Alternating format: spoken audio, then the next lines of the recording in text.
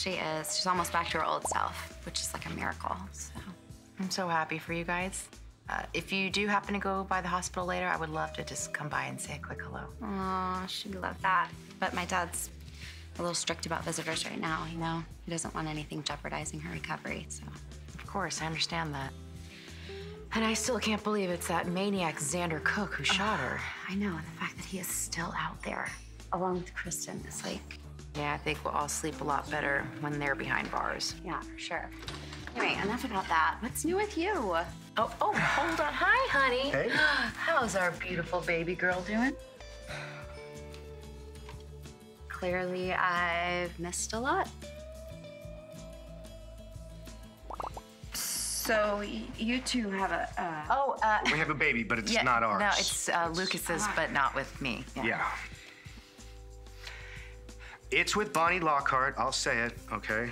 Um, basically, to make a long story short, when I was on one of my drinking binges, I, I slept with Bonnie because I thought she was Adrienne. That's it.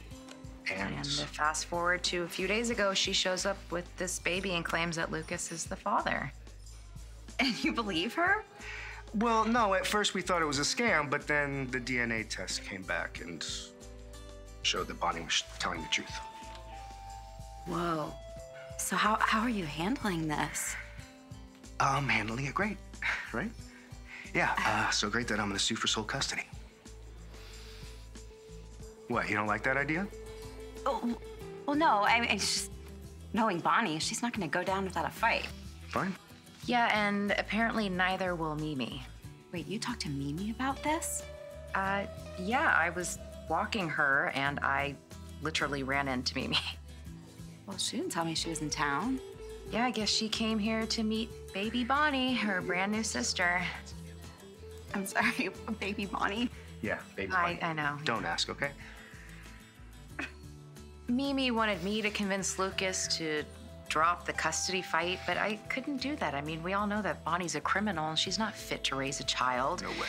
But then Mimi turned it around on me and said that I didn't have a right to judge because I stole Nicole's baby. Thank you so much for filling her in on that drama with Holly. I really appreciate it. Oh, come on, I'm sorry. You know, I came up, I didn't want to lie to her. You know, even though I haven't seen Mimi in forever, I talk to her all the time. So, I know, I know. You guys are best friends. oh, you're my friend too. Oh, deja vu. Are we back in high school? Oh, gosh, oh, please don't tell me I'm going to find a bucket of blood or a dead rat around here. oh God, I hope not. No, come on, we're past all that. But seriously, I, I- you know, it's hard for me sometimes because I love you and I love Mimi and I just don't want to get caught in the middle. What a face.